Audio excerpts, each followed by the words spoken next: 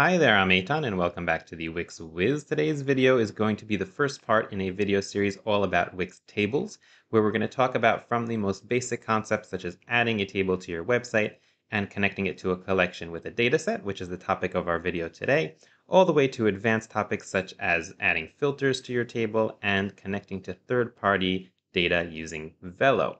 So if you're interested in all of that, I recommend you go ahead and subscribe to the channel so that you get notifications. And let's get started.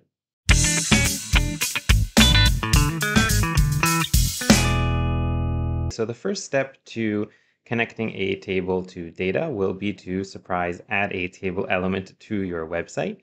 Uh, so if you're not familiar with how to do that, that would be over here on the left side, you have add elements. And then you're going to go here and look for list.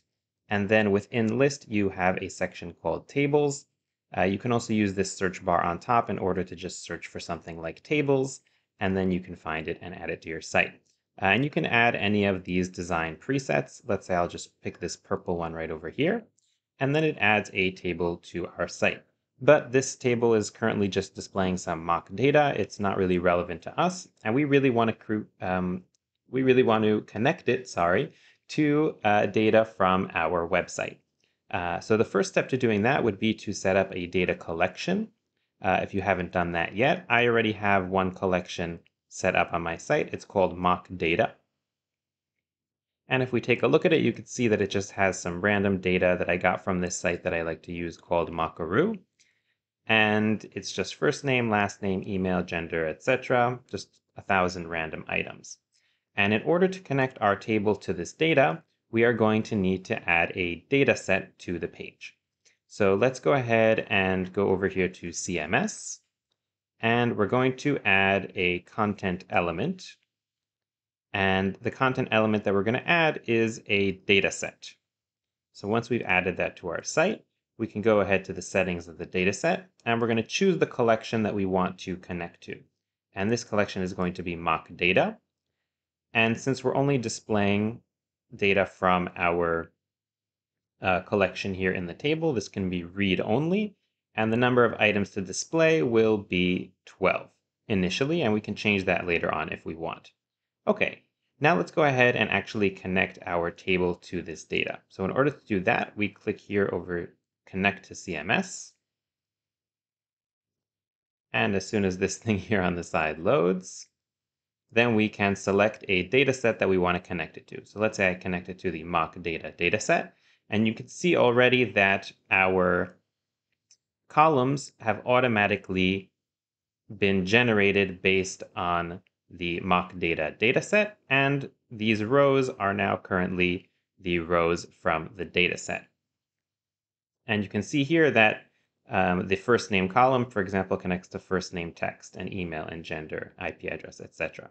And we can also add in columns if we want. So for example, I can add in um, let's say something that we're missing, ID wasn't listed here, so I can add that in. I can also choose some of the Wix default um, fields, which would be, let's say, created date. So let's say I add a column for that, and then it can have the date that this entry was created. These were all created on the same date because I just uploaded it with a CSV.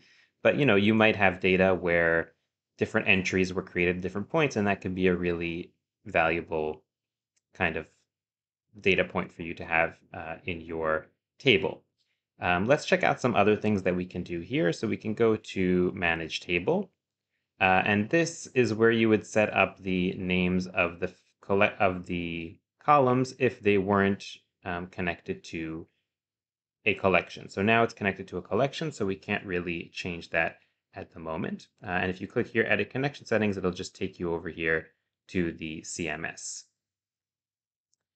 And if, for example, we want to change the name of one of these columns, so let's go back to our collection and open up our collections, mock data.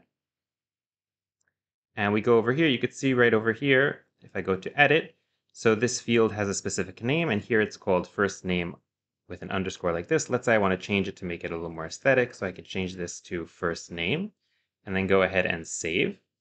And then if we take a look here at our table, uh, this might need to refresh. Let's try going into preview mode.